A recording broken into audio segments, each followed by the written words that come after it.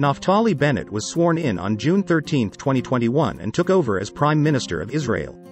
He is the second Prime Minister of this country, after Netanyahu, born after the creation of the Israeli state. Let's take a look at the important milestones in his career as a military and a politician.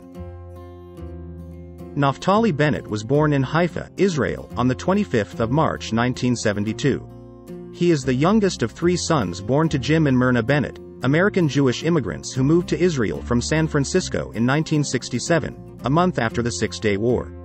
His father's Ashkenazi Jewish roots come from Poland, Germany, and the Netherlands.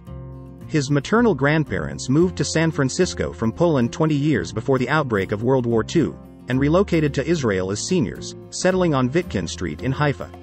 Through his paternal grandmother, Bennett is a descendant of the Rappaport rabbinic family and of the medieval biblical commentator Rashi. Some of his mother's other family members who remained in Poland were murdered in the Holocaust. Both of Bennett's parents observed modern Orthodox Judaism. After moving to Israel, they volunteered for a few months at Kibbutz Daphna, where they studied the Hebrew language, then settled in the Ahuza neighborhood of Haifa. Jim Bennett was a successful real estate broker turned real estate entrepreneur. Myrna Bennett was the Deputy Director General of the Association of Americans and Canadians in Israel's Northern Program. In the summer of 1973, when Bennett was one, the family returned to San Francisco at the urging of his mother. With the outbreak of the Yom Kippur War in October 1973, Jim Bennett returned to Israel to fight in the Israel Defense Forces, serving in an artillery unit on the Golan Heights front. Following the war, the rest of the family returned to Israel at his request as he was held in reserve duty for months after the war. Bennett's parents ultimately decided to stay permanently in Israel. When Bennett was four, the family moved to Montreal for two years as part of his father's job. Upon returning to Haifa, Bennett began attending Carmel Elementary School. When he was in second grade, the family moved to New Jersey for two years, again as part of his father's job.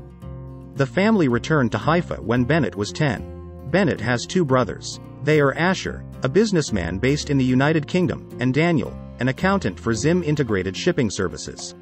Naftali Bennett attended Yavne Yeshiva High School in Haifa, and became a youth leader, Madrik, with the religious Zionist youth organization B'nai Akiva. Bennett was drafted into the Israel Defense Forces in 1990. He served in the Sayeret Matkal and Maglan commando units as a company commander.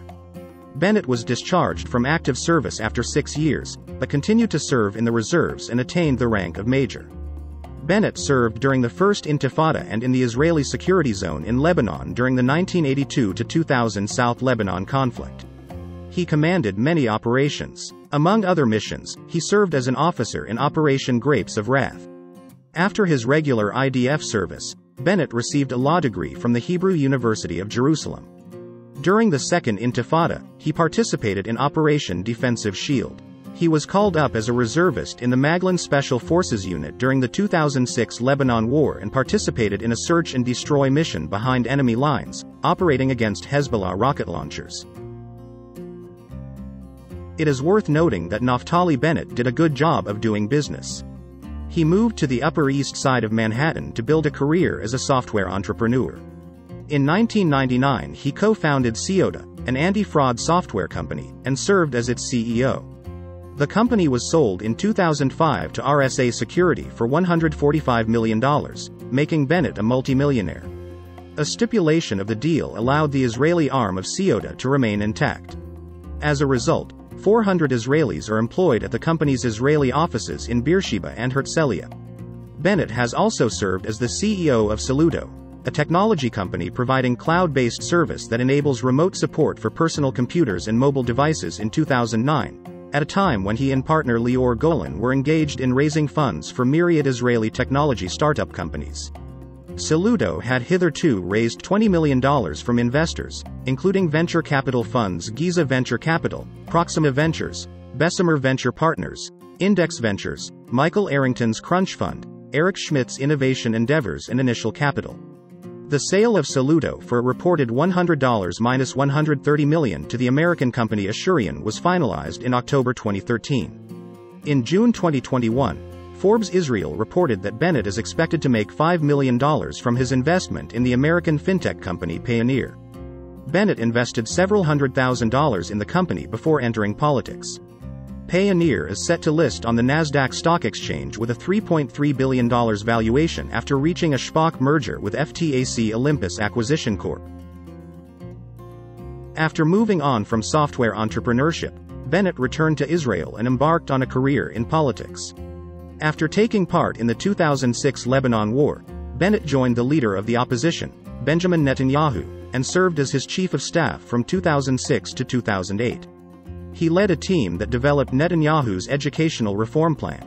He also ran Netanyahu's primary campaign to lead the Likud party in August 2007. On the 31st of January 2010 Bennett was appointed Director General of the Yesha Council and he led the struggle against the settlement freeze in 2010. He served in this position until January 2012. In April 2011, together with Ayelet Shaked, Bennett co-founded My Israel, which claims to have 94,000 Israeli members. In April 2012 he founded a movement named Yisraelim, i.e., Israelis. The movement's main goals include increasing Zionism among center-right supporters, increasing dialogue between the religious and secular communities, and promoting the Israel Stability Initiative. Subsequently, Bennett resigned from the Likud and joined the Jewish Home, while announcing his candidacy for the party leadership. In the internal elections on the 6th of November 2012, he won 67% of the vote, and was elected head of the Jewish Home. Citation needed, in the 2013 legislative elections, Bennett led the party to win 12 seats in the 19th Knesset. Following his election to the Knesset, Bennett had to renounce his U.S. citizenship, which he held as the son of American parents, before he could take his seat. He was appointed Minister of the Economy and Minister of Religious Services in March 2013. In April 2013 he was also appointed Minister of Jerusalem and Diaspora Affairs.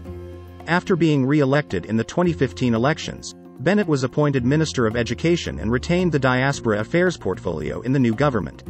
As Minister of Education, Bennett issued an official order prohibiting school principals from inviting members of Breaking the Silence and other organizations that denounce Israel's military conduct in the West Bank. In October 2015, Bennett resigned from the Knesset in order to allow Shuli Mualem to take his seat. His resignation took place under the Norwegian law, which allowed ministers to resign their seats when in the cabinet but return to the Knesset if they leave the government. He returned to the Knesset on 6 December 2015 after Avi Wortzman opted to vacate his seat, having temporarily had to resign as a minister in order to do so. Following Avigdor Lieberman's resignation as defense minister in November 2018, Bennett announced that he was seeking the position for himself.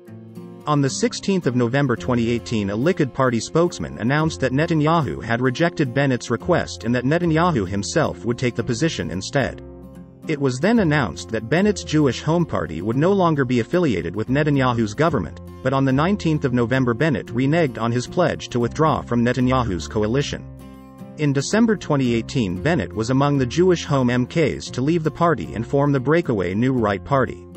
In the April 2019 Knesset elections, New Right narrowly failed to cross the electoral threshold. As a result, Bennett did not gain a seat in the 21st Knesset.